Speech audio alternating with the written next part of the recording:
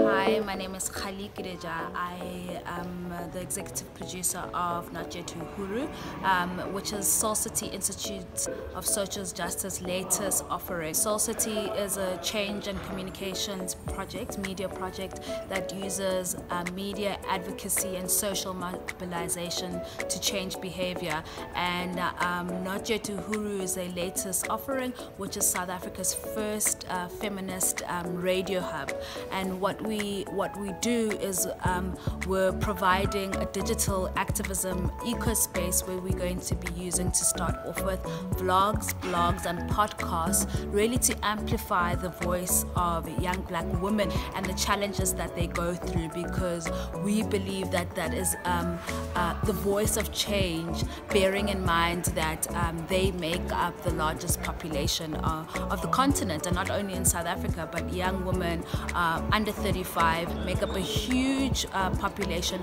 but there's no space where their voices prioritize. So all my work that I do is around making sure that the marginalized are heard and that real change happens on the ground. That's why I think Soul City's model with using technology and this digital ecosystem to amplify the grassroots voice is so dear to my heart because it's um, using the urban spaces and the urban voice to to really to connect and really make sure that um, uh, those rural and uh, uh, girls who live in rural and peri-urban areas are considered in global conversations.